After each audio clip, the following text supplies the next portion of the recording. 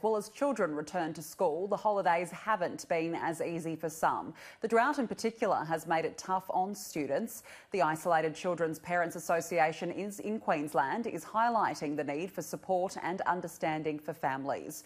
Joining me now live to discuss this is Tammie Irons, ICPA Queensland President. Tammie, good afternoon to you. Thank you for joining me. Thanks, Tanika, for inviting me. Firstly, what have the holidays been like for, for some students? Can you explain exactly what they're experiencing? Yeah, I think for a lot of students across Queensland in particular, but indeed across the country in the current drought climate have definitely not had the holiday that many would normally experience. We've seen a lot of kids that have been at home uh, helping their families, uh, taking relief um, off mum and dad, and they've been doing things like feeding um, cattle and other animals, cattle and sheep. They've also been doing water runs, as a lot of them have run out of water. They've also been uh, taking care of poddy calves where mothers have died, etc. And obviously, some of them have even had to um, help to destroy cattle in some circumstances. And how tough then can that transition be going back to school or boarding life after spending, uh, you know, holidays really doing it tough? Yeah, I think we've seen that a lot of the students are actually relieved to head back to school to get more of a uh, break from the workload. And it's really hard for them when they head back. They've got a lot of concern about leaving their parents behind to do it again on their own. So we're seeing a lot of concern, I guess, around the well-being and the mental health of our students. And we're really keen to get that message out there that these kids, um, their their mental health is of the utmost importance, and we really need to look out for them. Now, you sent a letter to schools and, and, and principals and educators uh, explaining this essentially about the mental health of students, what they've potentially been going through over the holidays. Why did you feel the need to do so? Just upon discussion with our members, we find that while our boarding staff across Queensland and uh, again, indeed across the country, are incredibly understanding, they spend a lot of the time over the holidays speaking to our families and to the kids that they have every year.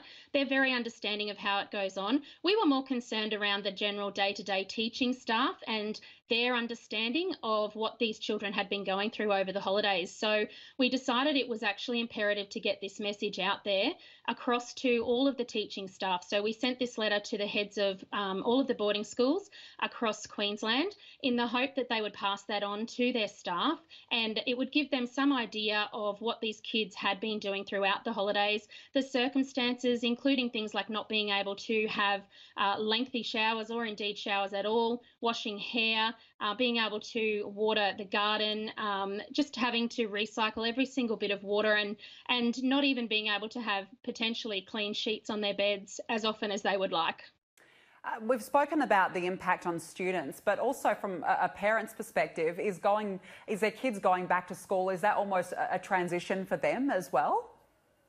Absolutely. It puts the um, weight back on the parents' shoulders. They've probably really appreciated having the assistance from their kids over the holidays, but also I think in the time of drought when things are really tough, there's nothing nicer than being together as a family at home. So, holidays for boarding school parents are always a really important time. At the moment, sending them back for some, obviously, with the cost, is actually um, driving them to, uh, I guess, a, a, lot of decisions that have to be made around can they actually afford to keep con- continuing their children's education uh, at the boarding school and how they're going to, to keep just keep going in general and the actual uh, emotional upheaval on families and on parents as these decisions come is is actually just increasingly uh, weighing on their mental health.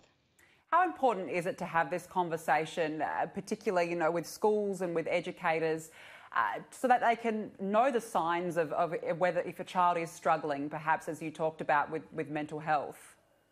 Yeah, we think it's really incredibly vital that these teachers are really aware of how um, to do that. A lot of the schools uh, work with um, professionals that actually help to identify these sorts of, uh, I guess, um, indicators within uh, their children in their class so they can actually have those conversations with them if that's what the child chooses to do. And of course, the boarding staff undergo really a lot of training around that as well in how to identify and keeping an eye on these kids. So we're really keen to make sure that these issues are up front and um, in front of everybody's minds as we go into the school year. Absolutely. It's an incredibly important conversation to be having. Tammie Irons, ICPA Queensland President, thank you so much for your time this afternoon. Thank you, Danica.